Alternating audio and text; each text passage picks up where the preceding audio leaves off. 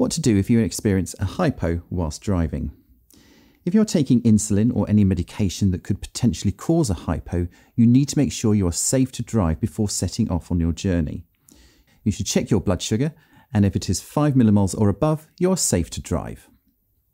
If it is between 4 and 5 millimoles, have a small snack to bring your blood sugar to a safe level. If you are on a long journey, or in and out of your vehicle for a long period of time, you should check your blood sugar at least every two hours to ensure it is still at a level of 5 millimoles or above. If you experience a hypo whilst driving, it is important you follow these steps. 1. Pull over to the side of the road and stop the vehicle as soon as safely as possible.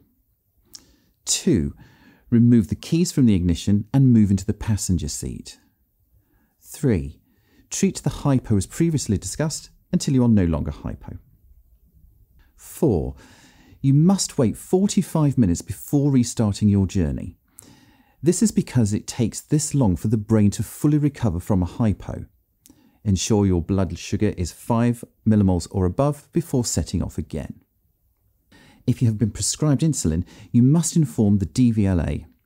Be assured this does not mean you will lose your license, but you will have to renew it more frequently, for example every 3 years as opposed to every 10 would recommend having the equipment to monitor your blood glucose levels and hypo treatment in the car with you throughout your journey.